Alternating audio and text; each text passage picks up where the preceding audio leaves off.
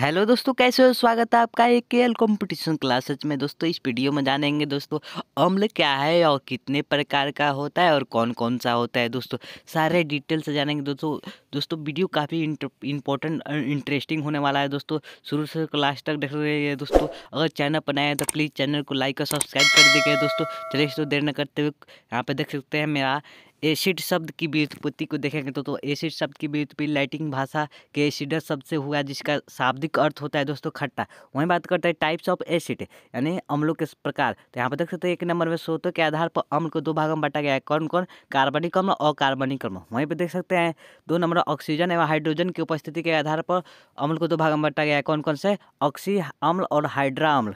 वहीं बात करते हैं, यहाँ पर तीन नंबर में कि हाइड्रोजन आयन त्याग करने की क्षमता के आधार पर अम्ल को दो भागों में बांटा गया है। दोस्तों, पहला है प्रबल अम्ल और दूसरा है दुर्बल अम्ल। वही बात कर चार नंबर जलीय विलयन में अम्ल की मात्रा के आधार पर दो भागों में बांटा गया है। तो पहला है सांद्र अम्ल, दूसरा है तनु अम्ल। आगे देखते हैं दोस्तों, चैनल पर बने रहिएगा दोस्तों वीडियो बनाइए शुरू से लास्ट तक आगे देखते हैं क्या है। आगे देखें एक नंबर में कार्बनिक अम्ल यानी ऑर्गेनिक एसिड। ऐसे अम्ल जो विभिन्न प्राकृतिक स्रोतों से, जैसे पादप एवं जंतुओं से प्राप्त किए जाते हैं, उसे कार्बनिक अम्ल कहते हैं दोस्तों। उदाहरण के लिए एसिट्रिक अम्ल एसिट्रिक अम्ल, फार्मिक अम्ल आदि। दोस्तों, काफ़ी इम्पोर्टेंट क्वेश्चन है यहाँ से। काफ़ी बार एग्ज़ाम में पूछ चुका है दोस्तों। चलिए दोस्तों, आगे देखते हैं। आगे देख सकते हैं यहाँ पे अकार्बनिक अम्ल, यानी इनऑर्गेनिक एसिड और मिनरल एसिड यहाँ पर देख सकते हैं दोस्तों, अकार्बनिक अम्ल अथवा खनिज अम्ल प्राकृतिक रूप से नहीं पाए जाते, बल्कि इन्हें अकार्बनिक खनिजों से प्राप्त किया जाता है। दोस्तों, वहीं बात करते हैं, यहाँ पर दो नंबर में देख सकते हैं कि खनिज अम्ल खनिज अम्ल के बारे में बात कर रहा है तो खनिज अम्ल अथवा अकार्बनिक अम्लों में हाइड्रोजन तथा अधात्विक उपस्थित तत्व उपस्थित होते हैं।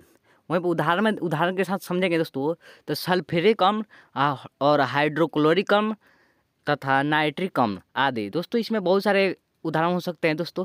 वहीं बात वहीं बात करते हैं, आगे देख सकते हैं कि कार्बनिक अम्ल एवं उनके स्रोत। यानी कहने का मतलब कौन कौन से अम्ल का स्रोत कौन कौन सा है? तो आप देख सकते हैं सिट्रिक अम्ल का स्रोत होगा नींबू, संतरा, टमाटर आदि खट्टे फलों में सिट्रिक अम्ल पाए जाते हैं, दोस्तों। वहीं बात करते हैं, दो नंबर में देख सकते हैं सिट्रिक अम्ल सिट्रिक अम्ल में हो जाएगा सिट्रिक अम्ल में सिरका। कौन सा? सिरका वही तीन नंबर में बात करते हैं फार्मिक अम्ल में तो मधुमक्खियों एवं चिटियों तथा नेटल नामक वनस्पति के कांटों में पाए जाते हैं फार्मिक अम्ल, ये नेटल नामक वनस्पति है, उसे कांटों में पाए हैं वहीं चार नंबर में बात करते हैं लाइटिक अम्ल तो खट्टे दूध दही में पाए जाते हैं लाइटिक अम्ल।